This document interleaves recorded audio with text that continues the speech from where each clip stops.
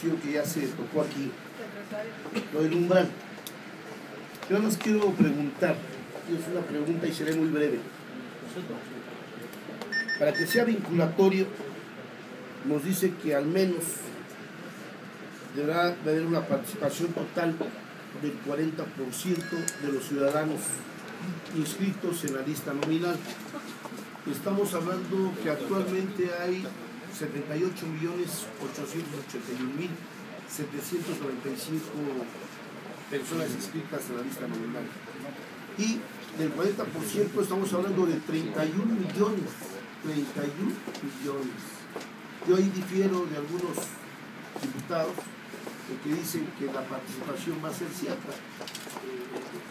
Estamos aquí que eh, hace cinco años la elección presidencial se llevó con alrededor de 15 millones de votos. ¿Ustedes creen que ganó? ¿Ustedes creen que va a haber una participación de 31 millones de votantes? Digo, nosotros vamos a dar nuestro voto a favor, bajo protesta, bajo reserva, por esta minuta, pero yo sí se los digo con números. 31 millones de personas no van a participar.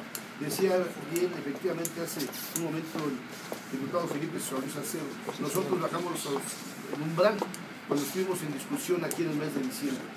Pero esto, no va a haber participación para que sea vinculatorio con el Ejecutivo, el Legislativo, de sus actividades competentes, no van a participar jamás 31 millones eh, de electores en esta ciudad. Ahí se los dejaría en los números.